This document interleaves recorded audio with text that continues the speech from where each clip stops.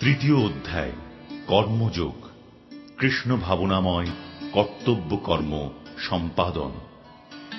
এই অধ্যায়ে বর্ণিত হয়েছে, এই জড়জগতে প্রত্যেককে কোনো ধরনের কাজে নিযুক্ত থাকতে হয়, কিন্তু কর্ম সকল মানুষকে এই জগতের বন্ধনে আবদ্ধ করতেও পারে, আবার তা থেকে মুক্ত করে দিতেও পারে। স্বার্থচিন্তা ব্যতিরেকে পরমেশ্বরের সন্তুষ্টি বিধানের উদ্দেশ্যে কাজের মাধ্যমে মানুষ তার কাজের প্রতিক্রিয়াজনিত কর্মফলের বিধিনিয়ম থেকে মুক্তি পেতে পারে এবং আত্মতত্ত্ব ও পরম তত্ত্বের দিব্যজ্ঞান অর্জন করতে সক্ষম হয়।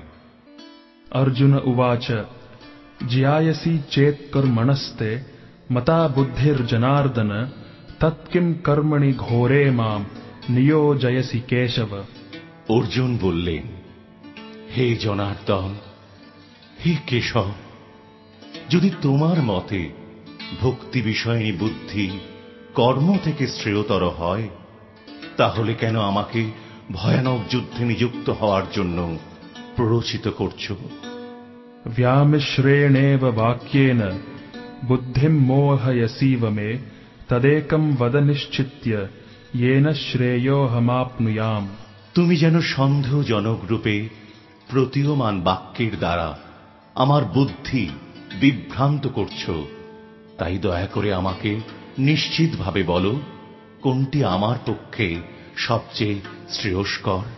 শ্রী ভগবান উবাচ লোকেস্মিন দ্বিবিধা নিষ্ঠা পুরা প্রোক্তা ময়া নঘ। ধ্যানযোগেন সাংখ্যানাম কর্মযোগেন যোগিনাম পরমেশ্বর ভগবান বললেন, হে নিষ্পাপ অর্জুন, আমি ইতিপূর্বে ব্যাখ্যা করেছি যে, দুই প্রকার মানুষ অধ্যাত্ম চেতনা উপলব্ধি করতে চেষ্টা করে। কিছু লোক দার্শনিক জ্ঞানের আলোচনার মাধ্যমে নিজেকে জানতে চান এবং অন্যেরা আবার তা ভক্তির মাধ্যমে জানতে চান न कर्मणाम् अनारम्भान् नाइष्कर्म्यम् पुरुषोऽश्नुते न च सन्न्यस्सनाद् एव सिद्धिम् समधिगच्छति কেবল কর্মের অনুষ্ঠান না করার মাধ্যমে কর্মবন্ধন থেকে মুক্ত হওয়া যায় না আবার কর্ম ত্যাগের মাধ্যমেও কেবল সিদ্ধি লাভ করা যায় না न हि कश्चित् क्षणम् अपि जातुत्तिष्ठत्यकर्मकृत् कार्यते ह्यवसः कर्म सर्वः प्रकृतिजैर्गुणैः সকলেই অসহায়ভাবে মায়াজাত গুণ সমূহের দ্বারা প্রভাবিত হয়ে কর্ম করতে বাধ্য হয় তাই কর্ম না করে কেউই ক্ষণকালও থাকতে পারে না कर्मेन्द्रियाणि संयम्य य आस्ते मनसा स्मरन् इन्द्रियार्थान् विमूढात्मा मिथ्याचारः स उच्यते যে মূঢ় ব্যক্তি পঞ্চকর্মেন্দ্রিয় সংযত করেও মনে মনে শব্দ রস আদি ইন্দ্রিয় বিষয়গুলি স্মরণ করে সে অবশ্যই নিজেকে বিভ্রান্ত করে এবং তাকে মিথ্যাচারী ভণ্ড বলা হয়ে থাকে यस्त्विन्द्रियाणि मनसा नियम्यारभतेऽर्जुन कर्मेन्द्रियैः कर्मयोगम् असक्तः स विशिष्यते কিন্তু যিনি মনের দ্বারা ইন্দ্রিয়গুলিকে সংযত করে অনাসক্তভাবে কর্ম অনুষ্ঠান করেন তিনি পূর্বোক্ত মিথ্যাচারী অপেক্ষা অনেক গুণে শ্রেষ্ঠ नियतम् कुरु कर्मत्वम् कर्मज्यायो ह्यकर्मणः शरीरयात्रापि च ते न प्रसिद्ध्येद् अकर्मणः তুমি শাস্ত্রোক্ত কর্ম অনুষ্ঠান করো কেননা কর্ম ত্যাগ থেকে কর্ম অনুষ্ঠান শ্রেয় কর্ম না করে কেউ দেহযাত্রাও নির্বাহ করতে পারে না यज्ञार्थात् कर्मणोऽन्यत्र लोकोऽयम् कर्मबन्धनः तदर्थम् कर्म कौन्तेय মুক্তসঙ্গ সমাচার। বিষ্ণুর প্রীতি সম্পাদন করার জন্য কর্ম করা উচিত। তা না হলে কর্মজীবকে জড়জগতের বন্ধনে আবদ্ধ করে। তাই হে কোনতেও ভগবানের সন্তুষ্টি বিধানের জন্যই কেবল তোমার কর্তব্য কর্ম অনুষ্ঠান করো এবং তার ফলে তুমি সদা সর্বদা জড়জগতের বন্ধন থেকে মুক্ত থাকতে পারবে। सह यज्ञाः प्रजाः सृष्ट्वा पुरोवाच प्रजापतिः अनेन प्रसविष्यध्वम् एष वोस्त्विष्ट कामधुक् সৃষ্টির প্রারম্ভে পরমেশ্বর ভগবান যজ্ঞ সহ প্রজার সৃষ্টি করে বলেছিলেন এই যজ্ঞের দ্বারা তোমরা সর্বদা সমৃদ্ধ হও এই যজ্ঞ তোমাদের সমস্ত অভীষ্ট পূর্ণ করবে देवान् भावयतानेन ते देवा भावयन्तु वः परस्परम् भावयन्तः श्रेयः परमवाप्स्यथ তোমাদের যজ্ঞ অনুষ্ঠানে প্রীত হয়ে দেবতারা তোমাদের প্রীতি সাধন করবেন এইভাবেই পরস্পরের প্রীতি সম্পাদন করার মাধ্যমে তোমরা পরম মঙ্গল লাভ করবে इष्ठान् भोगान् हि वो देवा दास्यन्ते यज्ञभाविताः तैर्दत्तान् अप्रदायैभ्यो यो भुङ्क्तेस्तेन एव सः যজ্ঞের ফলে সন্তুষ্ট হয়ে দেবতারা তোমাদের বাঞ্ছিত ভোগ্য বস্তু প্রদান করবেন সুতরাং দেবতাদের দেওয়া বস্তু দেবতাদের নিবেদন না করে যিনি ভোগ করেন তিনি নিশ্চয়ই চোর यज्ञाशिष्टाशिनः মুচ্যন্তে সর্বকিল বিষয় ভুঞ্জতে তে ত্বঘম পাপা ইয়ে পচন্ত্যাত্মকারণাৎ ভগবত ভক্তরা সমস্ত পাপ থেকে মুক্ত হন কারণ তারা ভগবানকে নিবেদন করে অন্নাদি গ্রহণ করেন যারা কেবল স্বার্থপর হয়ে নিজেদের ইন্দ্রিয়ের তৃপ্তির জন্য অন্ন পাপ করে তারা কেবল পাপ ভোজন করে। অন্নাদ ভবন্তি ভূতানি पर्जन्याद् अन्नसम्भवः यज्ञात् भवति पर्जन्यो यज्ञाः कर्म समुद्भवः অন্ন খেয়ে প্রাণীগণ জীবন ধারণ করে বৃষ্টি হওয়ার ফলে অন্ন উৎপন্ন হয় যজ্ঞ অনুষ্ঠান করার ফলে বৃষ্টি উৎপন্ন হয় শাস্ত্রোক্ত কর্ম থেকে যজ্ঞ উৎপন্ন হয় कर्म ब्रह्मोद्भवम् विधि ब्रह्माक्षर समुद्भवम् तस्मात् सर्वगतम् ब्रह्म नित्यम् यज्ञे प्रतिष्ठितम् যজ্ঞাদি কর্ম বেদ থেকে উদ্বুদ্ধ হয়েছে এবং বেদ অক্ষর পরমেশ্বর ভগবান থেকে প্রকাশিত হয়েছে অতএব সর্বব্যাপক ব্রহ্ম যজ্ঞে প্রতিষ্ঠিত হয়েছেন एवम् प्रवर्तितम् चक्रम् नानुवर्तयतीह অঘায়ুর ইন্দ্রিয়ারাম মোঘম পার্থ সজীবতি হে অর্জুন যে ব্যক্তি এই প্রকারে ভগবান কর্তৃক প্রবর্তিত যোগ্য অনুষ্ঠানের পন্থা অনুসরণ করেন না সেই ইন্দ্রিয় সুখপরায়ণ পাপী ব্যক্তি বৃথা জীবন ধারণ করে। ইয়স্ত্বাত্মরতির এব স্যাদ আত্মতৃপ্তশ্চ মানব আত্মন্যেব চ সন্তুষ্টস্ तस्य कार्यम् न विद्यते কিন্তু যে ব্যক্তি আত্মাতেই প্রীত আত্মাতেই তৃপ্ত এবং আত্মাতেই সন্তুষ্ট তার কোনো কর্তব্য নেই नैव तस्य कृतेनार्थो नाकृतेनेह कश्चन न चास्य सर्वभूतेषु कश्चिद् अर्थव्यपाश्रयः আত্মানন্দ অনুভবকারী ব্যক্তির ইহজগতে ধর্ম অনুষ্ঠানের কোন প্রয়োজন নেই এবং কর্ম না করার কোন কারণ নেই। তাকে অন্য কোন প্রাণীর ওপর নির্ভর করতেও হয় না। তসমাদ অসত্য সততম কার্যম কর্ম সমাচর অসত্য হ্যাচরণ কর্ম পরমাপ্নোতি পুরুষ। অতএব কর্মফলের প্রতি আসক্তি রহিত হয়ে কর্তব্য কর্ম সম্পাদন করো। অনাসক্ত হয়ে কর্ম করার ফলে পরাভক্তি লাভ করা যায়। কর্মণৈব হি সংসিদ্ধিম আস্থিতা জনকাদয়। লোক সংগ্রহম এবাপি সম্পশ্যন কর্তুমর্হসি। জনক প্রভৃতি মহারাজারাও কর্ম দ্বারা ভক্তিরূপ সংসিদ্ধি প্রাপ্ত হয়েছিলেন। অতএব জনসাধারণকে শিক্ষা দেওয়ার জন্য তোমার কর্তব্য কর্ম করা উচিত। আচরতে শ্রেষ্ঠ তত্তদ এবেতরো জনঃ কুরুতে লোকস্তদ অনুবর্ততে শ্রেষ্ঠ ব্যক্তি যেভাবে আচরণ করেন সাধারণ মানুষেরাও তার অনুসরণ করেন তিনি যা প্রমাণ বলে স্বীকার করেন অন্য লোকে তাঁরই অনুসরণ করে নমে পার্থাস্তি কর্তব্যম कर्तव्यम् त्रिषु लोकेषु किञ्चन नानावाप्तम् अवाप्तव्यम् वर्त एव च कर्मणि হে পার্থ এই ত্রিজগতে আমার কিছুই কর্তব্য নেই আমার অপ্রাপ্ত কিছু নেই এবং প্রাপ্তব্য কিছু নেই তবুও আমি কর্মে ব্যাপৃত আছি यदि ह्यहम् न वर्तेयम् जातु कर्मण्यतन्द्रितः मम वर्त्मानुवर्तन्ते मनुष्याः पार्थ सर्वशः হে পার্থ আমি যদি অনলস হয়ে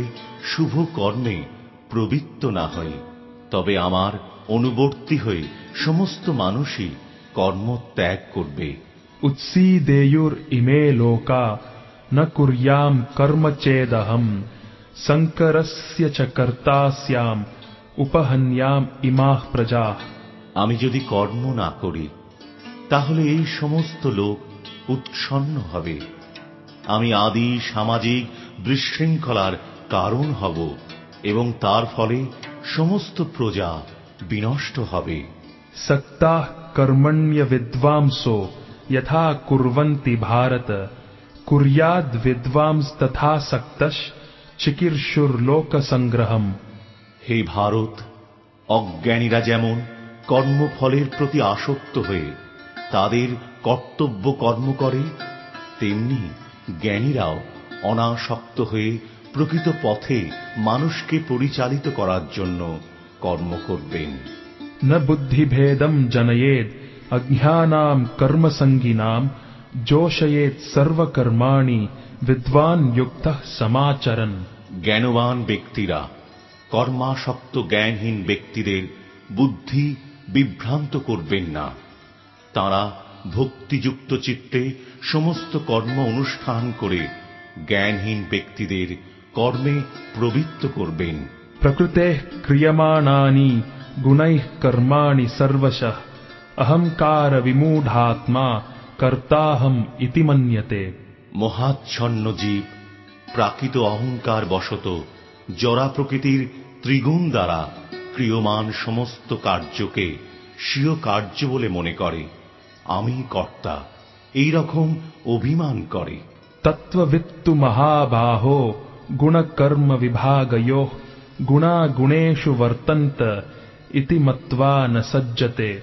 হে মহাবাহ তত্ত্বজ্ঞ ব্যক্তি ভগবত ভক্তিমুখী কর্ম এবং সকাম কর্মের পার্থক্য ভালোভাবে অবগত হয়ে কখনো ইন্দ্রিয় সুখ ভোগাত্মক কার্যে প্রবৃত্ত হন না। প্রকৃতের গুণসম্মূঢ়া সজ্জন্তে গুণকর্মসু তান অকৃৎস্নবিদো মন্দান কৃৎস্নবিন্ন বিচালয়েত। জরা প্রকৃতির ত্রিগুণের দ্বারা মহাচ্ছন্ন হয়ে অজ্ঞান ব্যক্তিরা জাগতিক কার্যকলাপে প্রবৃত্ত হয় কিন্তু তাদের সেই কর্ম নিকৃষ্ট হলেও তত্ত্বজ্ঞানী পুরুষেরা তাদের বিচলিত করেন না। ময়ি সর্বাণি কর্মাণি সন্ন্যস্যাধ্যাত্মচেতসা নিরাশীর নির্মমো ভূত্বা যুদ্ধস্ব বিগতজ্বর অতএব হে অর্জুন তোমার সমস্ত কর্ম আমাকে সমর্পণ করে অধ্যাত্ম চেতনা সম্পন্ন হয়ে মমতা শূন্য নিষ্কাম ও শোক শূন্য হয়ে তুমি যুদ্ধ করো।